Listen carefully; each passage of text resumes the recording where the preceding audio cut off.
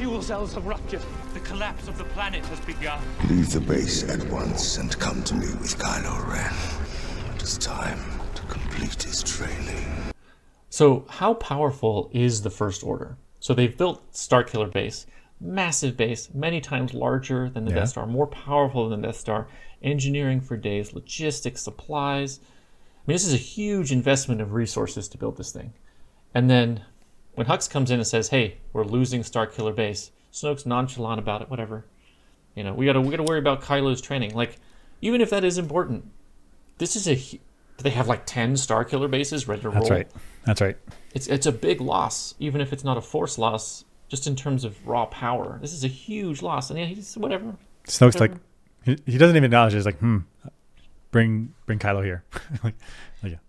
So this is a huge like, it's a huge loss for rebel intelligence because this means the industrial capacity of the First Order is so enormous that the loss of Starkiller Base is not a big deal. Right. Snoke doesn't even care about it. He's like, yeah, I'm, I've already moved on. Already moved on. Yeah, I've got resources for days over here. This is a one percent loss for us. Sure. We tried Starkiller Base, didn't work. It's okay. And the rebellion knows nothing about it.